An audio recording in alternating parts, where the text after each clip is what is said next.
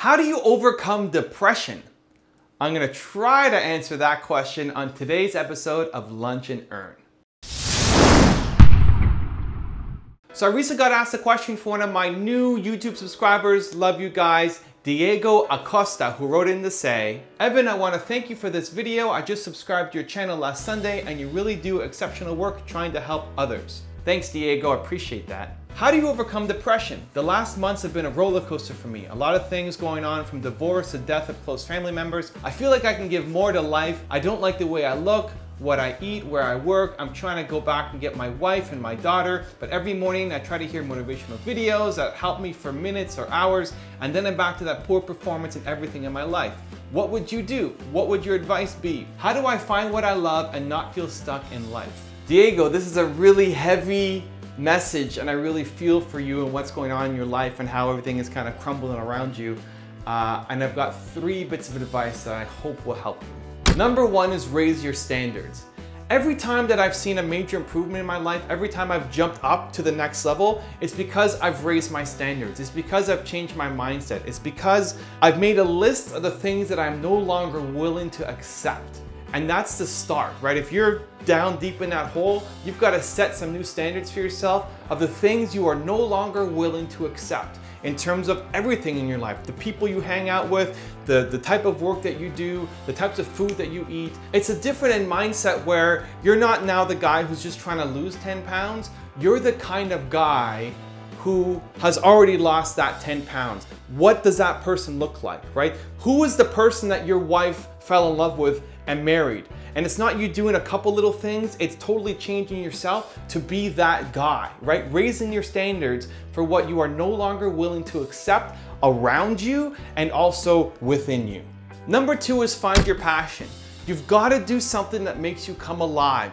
It'll be such a amazing feeling for you once you can figure that out because you've you've done and experienced a lot in your life to this point that has been the exact opposite. That's just like beating you in the ground. And you need to find that thing that you love doing that brightens you up, that makes you come alive. And there's a funny thing that happens when you are doing work that you love, that is meaningful, that is earning you money, that you are excited about, that has a ripple effect right? Work has a ripple effect. If you come home from your, your business or your job and you are upset and angry and stressed out, that has a huge effect on the rest of your life, right? That impacts your relationship, that impacts the food you eat, that impacts your health level, everything. Where if you love what you're doing and you're coming back home excited and feeling grateful and being happy with what you've contributed that day, then that has a positive impact on your health and the food you eat and your relationship with your wife and your, your child, right? So you wanna do work that makes you come alive. And it's not gonna happen every single day, right? I mean, I love what I do, but there are days still that I have that are bad. So it's not gonna be perfect ever, but if you are going too many days waking up and going and do something that you don't love doing, then you need to switch. And you've got to find something that you love. And number three is start a morning routine. I'm big on routines. I love it. I find they set me up for the day really well. Find the thing that you need to start your day that makes you get excited, that gives you energy, that makes you feel grateful, and that sets you up for success for that day. So the reason why I started the Espresso series that I record every morning is because I wanted something to give me that little shot, to give me that feeling of thinking bigger and reaching for higher dreams and studying success and how can I pour that into my business so I'm not complacent and boring and just doing the same thing over and over and over again. You need to create that routine for yourself so that you've set those high standards, right? First step, we're setting our high standards. Now you are doing something that you love or exploring and try to find that. And then you need that morning routine so that you can get back to that every day. Because you could be one day on a high, you watch a motivational video whatever it is, and you're all excited, and then the next day you're starting from scratch. And so, at least for me, I find it's I'm starting from scratch every single day, and I need to have that morning routine to get me set up for success. Do I want to address the, the, the wife? I feel like I should, but I feel like I'm not an expert. All right, whatever, we'll go with it. In regards to getting your wife back and, and your daughter, I, I don't pretend to be uh, an expert in that field in relationships. And I almost didn't want to record this answer, but I felt like I'm just going to share my thoughts and hopefully that that might add some meaning and value for you. One of the things I found in relationships is you need to love yourself first.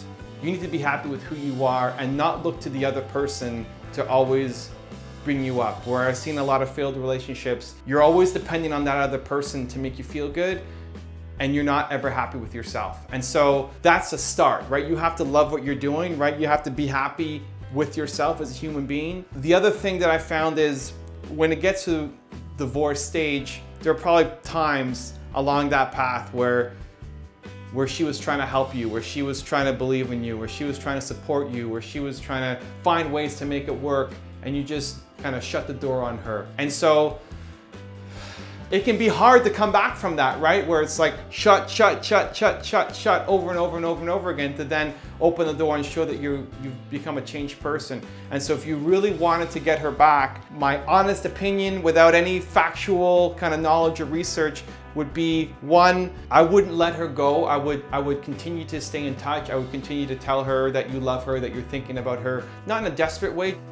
You know, one of the things I find really helpful in the mornings, I have a quick notes of gratitude and I'll send a note to my wife, just either a happy face or a I love you or just something to start my day off with gratitude. I would make a conscious effort to think about her in a positive way and share what you love about her and that you're thinking about her. So it's not a desperate way, but it's an it's an honest, kind of heartfelt way. And then I think the biggest thing for her is gonna be showing that you have actually changed because it's easy to say you're gonna change and you've probably said that you were gonna change and then you didn't. And so now she doesn't trust that opinion. You have to actually show that you're changing. You're showing that, hey, I've lost 15 pounds. I'm eating healthier. I'm working out. I like taking our daughter out to places. I've switched the job that I'm at. I've started my own business, whatever it is, right? Like when you actually feel happy in what you're doing, that'll radiate out and she'll be able to feel it if you're staying in touch and showing, I think she needs action to see that you've actually changed. So I kind of rambled there at the bit at the end and I'm still a little bit hesitant about publishing it, but I feel like we're gonna put it up. So good luck. I, I feel for you. I,